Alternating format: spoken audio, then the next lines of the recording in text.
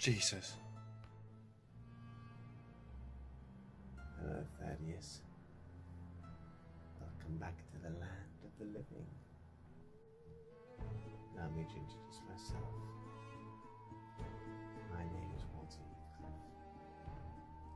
You will obviously recognize we look quite alike. See, obviously we share a host. So you're not my host, is, we're a little short-staffed at the moment. Female man packed in, another defected. Now there's only the two of us. We need you, Thaddeus.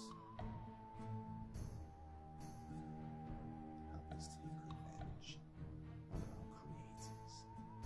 I, I don't, I don't understand. We need your help,